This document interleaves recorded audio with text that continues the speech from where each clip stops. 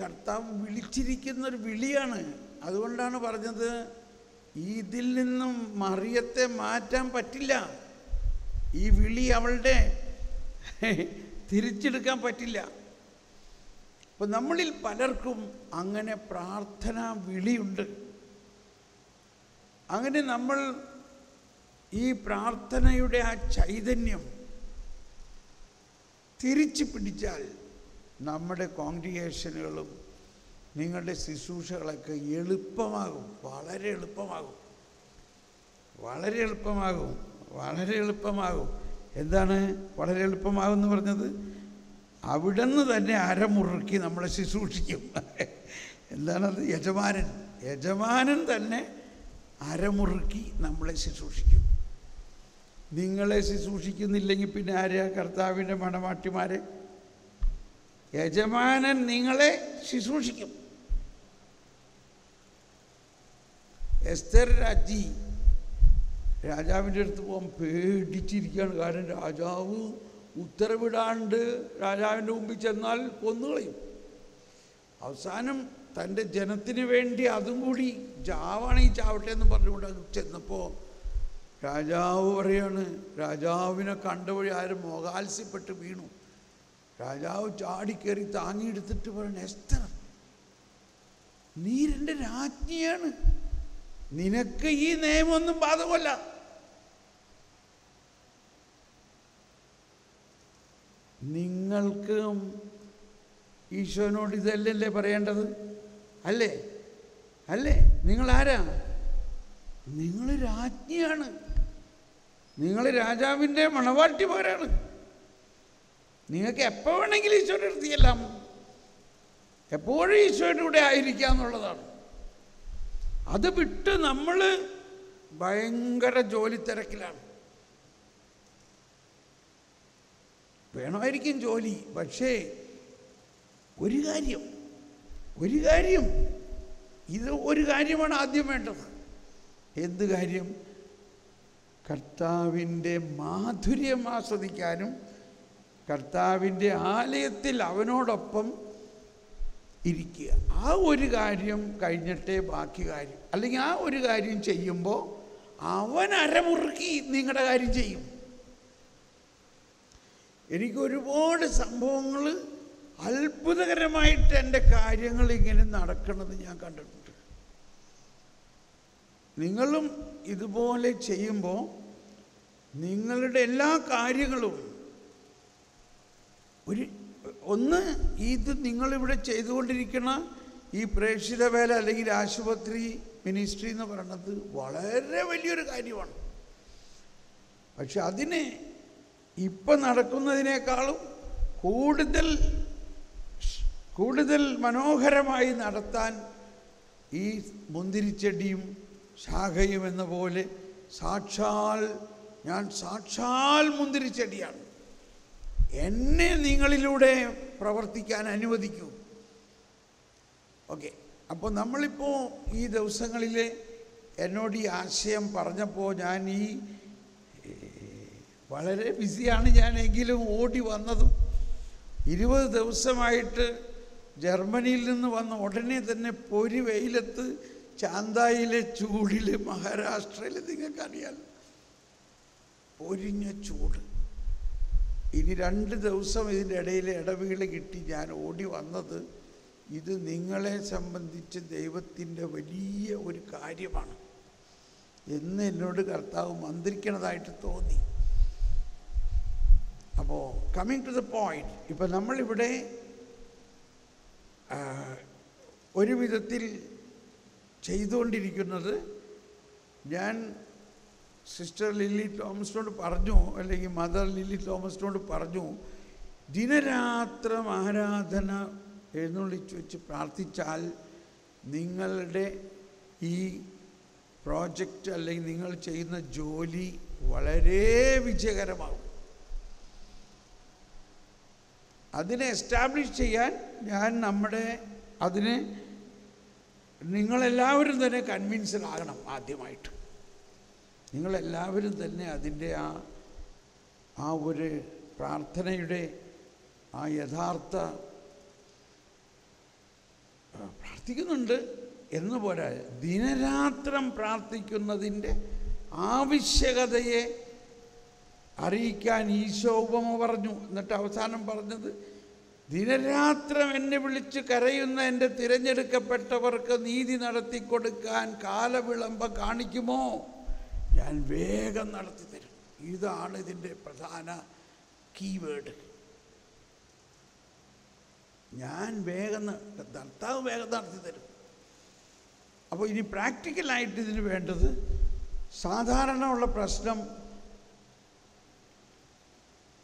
അല്ലെങ്കിൽ ഇത് അൽമായരെയും കൂടി പങ്കെടുപ്പിച്ചുകൊണ്ട് നടത്തിയാലേ ഇത് വിജയിക്കുള്ളൂ. അൽമായരിൽ പ്രാർത്ഥന വരമുള്ള ഒരുപാട് പേരുണ്ട്. അപ്പോൾ ഞാൻ ആദ്യത്തെ ദിവസം പറഞ്ഞായിരുന്നു തോന്നുന്നു മത്ത അപസ്തോല പ്രവർത്തനത്തിൽ പന്ത്രണ്ടാം അധ്യായത്തിൽ യാക്കോബിന്റെ തലവെട്ടി പത്രോസ് പത്രോസിനെ കാരാഗ്രഹത്തിലിട്ടിരിക്കുമ്പോൾ സഭ പ്രാർത്ഥിച്ചു. ആരാണ് അവിടെ പ്രാർത്ഥിച്ചിരുന്നത്? റോദ എന്ന ഒരു വേലക്കാരി കുറച്ച് പേരും മർക്കോസിന്റെ വീട്ടിലിരുന്ന് പ്രാർത്ഥിച്ചു. എന്ത് സംഭവിച്ചു? രാത്രി പത്രോസ് തടങ്കലിൽ വിലങ്ങുകൾ വെച്ച് കിടക്കുമ്പോൾ മാലാക തടങ്കലിൽ വന്ന് വിലങ്ങുകൾ പൊട്ടി. പത്രോസിനെ അണിപ്പിച്ച് കവാടങ്ങൾ തുറന്നു. ഇരുമ്പ് കവാടം താനെ തുറന്നു. പത്രോസ് പുറത്തു വന്നിരിക്കണം അപ്പോഴാണ് പത്രോസിന് മനസ്സിലായത് ഇതൊരു ദർശനമൊന്നുമല്ല സത്യമാണെന്ന്. അങ്ങനെ മർക്കോസിന്റെ വീടിന്റെ അടുത്താണല്ലോ ഇതെന്ന് പറഞ്ഞ് മർക്കോസിന്റെ വീട്ടിൽ ചെന്നപ്പോൾ അവിടെ കുറേ പേര് പ്രാർത്ഥിച്ചുകൊണ്ടിരിക്കുകയായിരുന്നു. മത്രോസ് മുട്ടാൻ തുടങ്ങി. ഞാൻ പത്രോസാണേ പത്രോസാണ് വന്നിരിക്കണേ. ആദര് തുറക്കാൻ വന്ന നൗക്കരാനി മെയ്ഡ് സെർവന്റ് ദാസി റോദ.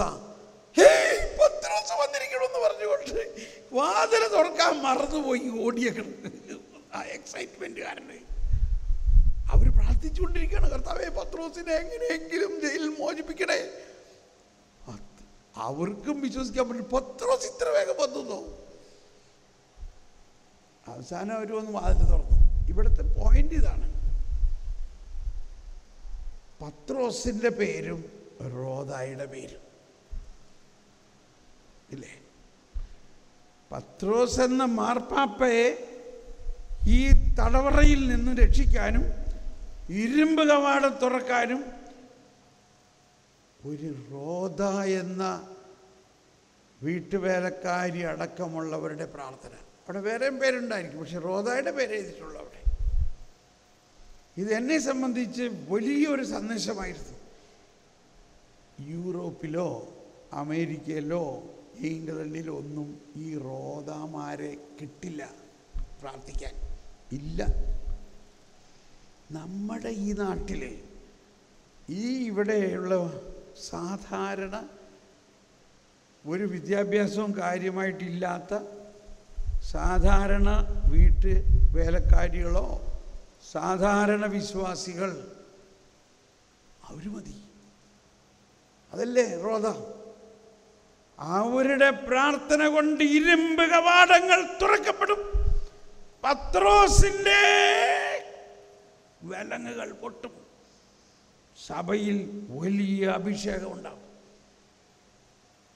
ഇതാണ് എന്നിലൂടെ ഇരുപത്തഞ്ചിലേറെ വർഷമായിട്ട് കർത്താവ് ലോകം മുഴുവൻ ചെയ്തുകൊണ്ടിരിക്കുന്നത്. നമ്മുടെ ടീമിലുള്ളവരൊക്കെ റോദാമരം. സാധാരണ ഒരു വലിയ ക്വാളിഫിക്കേഷനും ഇല്ല. അപ്പോൾ ക്വാളിഫിക്കേഷനൊക്കെ ഉള്ള ആൾക്കാർ അവരുടേതായിട്ടുള്ള ജോലികൾക്ക് ആവശ്യമുണ്ടായിരിക്കാം. പ്രാർത്ഥനാ പ്രേക്ഷിതത്വത്തിന് ഇത്രയും വലിയ ക്വാളിഫൈഡ് ആൾക്കാരൊന്നും വേണ്ട. റോദാമാർ മതി. അപ്പോഴെന്താ? സഭ എന്ന് പറയുന്നത് അവരെയും കൂടി പങ്കെടുപ്പിച്ചിട്ടുള്ള മാർപ്പാപ്പ പറയുന്ന പോലെ എല്ലാവരുടെയും ഒരു സഹകരണത്തിലുള്ള ശുശ്രൂഷയായിരിക്കണം. അപ്പോൾ ഞാൻ സിസ്റ്ററിനോട് പറഞ്ഞു കോൺവെന്റിലാണെങ്കിൽ കോൺവെന്റിന്റെ നിയമം അനുസരിച്ച് പുറത്തുനിന്നുള്ള ആൾക്കാരെ പ്രത്യേകിച്ച് രാത്രി അകത്ത് കയറ്റാൻ പറ്റില്ല. എന്നാൽ ഹോസ്പിറ്റലാണെങ്കിൽ എപ്പോഴും രാത്രിയും പകലും പുറത്തുനിന്നുള്ള ആൾക്കാരാണല്ലോ ഇവിടെ. മനസ്സിലാവുന്നുണ്ടോ? അപ്പോൾ ഇവിടെ it is a good situation good situation ഇപ്പോൾ ഞാൻ ഞാനിവിടെ വന്നിട്ട് എനിക്കിപ്പോൾ കർത്താവ് തന്നെ ഒരുക്കി തന്നിരിക്കുന്ന ഒരു സംവിധാനം ഇതാണ്. എന്റെ പരിചയത്തിലുള്ള പലരും ഉണ്ട് ഇവിടെ. നമ്മുടെ ഈ ശുശ്രൂഷയിൽ ഓൺലൈൻ വന്നിട്ടുള്ളവരും എന്റെ അപ്പോൾ അവരെല്ലാവരും രാത്രി ഓരോ ഫാമിലിക്കാർ അങ്ങനെ ഒരു ഏഴ് ഫാമിലി ഓരോ തിങ്കളാഴ്ച ഒരു ദിവസം ഒരു ഫാമിലി വരും അല്ലെങ്കിൽ ഒരാൾ വരും ഞങ്ങളത് ഓർഗനൈസ് ചെയ്യും. അവർ രാത്രി നമ്മൾ പറയുന്ന ഒരു സമയം എട്ട് മണിയോ ഒമ്പത് മണിക്ക് അവിടെ വരും. എട്ട് മണിയെന്ന് ഉദ്ദേശിക്കാം. എട്ട് മണി മുതൽ രാവിലെ അഞ്ച് മണി വരെ അവരിരുന്ന് പ്രാർത്ഥിക്കും. നിങ്ങൾ ആരെങ്കിലും അഞ്ച് മണിക്കോ ആറു മണിക്കോ അവരോട് സമ്മതിച്ചനുസരിച്ച് വന്നിട്ട് പകൽ സമയത്ത് നിങ്ങളും ഇവിടുത്തെ നിങ്ങളുടെ പരിചയത്തിലുള്ള സ്റ്റാഫോ ആരെങ്കിലും എല്ലാം അല്ലെങ്കിൽ നമ്മൾ കന്യാസ്ത്രീമാർ ബാക്കി പകലത്തെ കാര്യം നോക്കുകയാണെങ്കിൽ നമ്മളിവിടെ ഡേ ആൻഡ് നൈറ്റ് ഇത് സക്സസ് ആവും. ഓസ്ട്രിയയിൽ കഠിന തടുപ്പത്ത് പോലും ഐസ് നിറഞ്ഞു കിടക്കുമ്പോൾ പോലും വീട്ടമ്മമാർ അഞ്ച് കുട്ടികളുള്ള അമ്മമാർ ഒമ്പത് മണിക്ക് കുഞ്ഞുങ്ങളെയൊക്കെ ഉറക്കി കഴിഞ്ഞതിന് ശേഷം അവർ നിത്യാരാധന ചാപ്പലിൽ വന്ന് നാല് മണി വരെ പ്രാർത്ഥിച്ച് മടങ്ങി പോകുമായിരുന്നു. ഇതെനിക്ക് ആ- ഒരു ഐഡിയയിലാണ് ഞാനിത് വെച്ചത്. അങ്ങനെ ഞങ്ങൾ എന്ത് ചെയ്തു? ഏഴ് ഫാമിലീസ് അവർ ഓരോരുത്തർ ആഴ്ചയിൽ ഒരു ദിവസം വരും. അങ്ങനെ നൈറ്റ് അഡറേഷൻ അവർ ചെയ്യും. നമ്മുടെ ആൾക്കാരുണ്ടെങ്കിൽ എമർജൻസിക്ക് ആരുമില്ലെങ്കിലും നമ്മുടെ ആൾക്കാർ അവിടെ കയറി പ്രാർത്ഥിക്കും. അങ്ങനെയാണ് ഞങ്ങൾ അവിടെ ഓസ്ട്രിയ ജർമ്മനിയിലൊക്കെ പല സ്ഥലത്തും ചെയ്തിരുന്നത്.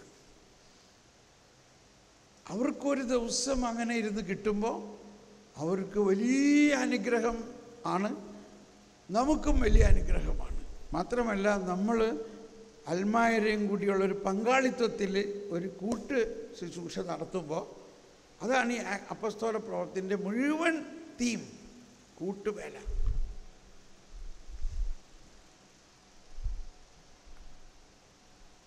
നമുക്കൊന്ന് സ്തുതിച്ച് പ്രാർത്ഥിക്കാം. ഈശോയെ ഇങ്ങനെയുള്ള ഈ ഒരു ശുശ്രൂഷയെ അങ്ങ് അനുഗ്രഹിക്കണമേ. ഇതിനു വേണ്ടി ഞങ്ങളെ പൂർണമായിട്ട് ഞങ്ങൾ സമർപ്പിക്കാനും അല്പം ത്യാഗം എടുത്തുകൊണ്ട് ഈ വലിയ ഒരു പദ്ധതിയിലൂടെ ഈ കോൺഗ്രിഗേഷനും ഈ ഹോസ്പിറ്റലും ഇവിടെയുള്ള എല്ലാ പ്രവർത്തനങ്ങൾക്കും ശക്തമായ ഒരു അഭിഷേകം ഉണ്ടാകാനും ഇടയാകട്ടെ. ഈശോയെ നന്ദി പരിശുദ്ധാത്മാവ്. ഇത് ആഗോള കത്തോലിക്ക സഭയ്ക്കും തന്നെ വലിയ ഒരു നേട്ടമാകാനും ഈ ഹൗസിന് ഈ ആശുപത്രിക്ക് ഇവിടെയുള്ള എല്ലാ പ്രവർത്തനങ്ങൾക്കും ദൈവം എന്താണ് എന്തെല്ലാം അനുഗ്രഹങ്ങളാണ് തരാനിരിക്കുന്നത് അതിനെല്ലാം അതോടൊപ്പം എന്തെല്ലാം അപകടങ്ങളാണ് ഉണ്ടാകാനിരിക്കുന്നത് അതിൽ നിന്നെല്ലാം ഞങ്ങളെ കാത്തു പരിപാലിക്കാൻ ഇടയാകണേ. പ്രൈസ് ദ ലോഡ് ഷാജി ഇനി ക്യാമറ ഓഫ് ചെയ്യും.